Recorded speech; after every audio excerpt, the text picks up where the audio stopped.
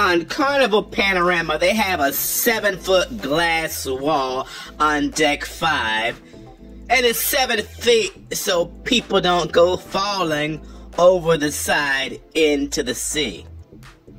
But this genius decides he wants to climb up on top of the wall just for the hell of it. People were telling him it's dangerous to get down. He refused. He's five stories up. We were in port and he would have hit the concrete. But first, ladies and gentlemen, he would have bounced off the top of the lifeboats and then crashed onto the pavement below. Then we all would have faced a departure delay as they scraped up his body off the pavement.